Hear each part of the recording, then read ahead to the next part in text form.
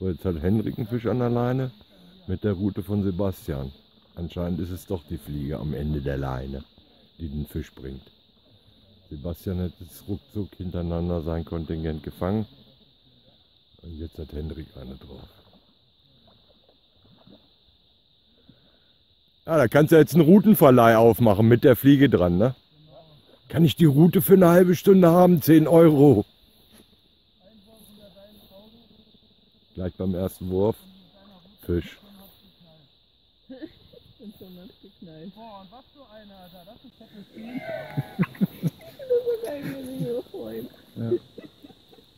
Jo, Petri, die hat ja 40, wa?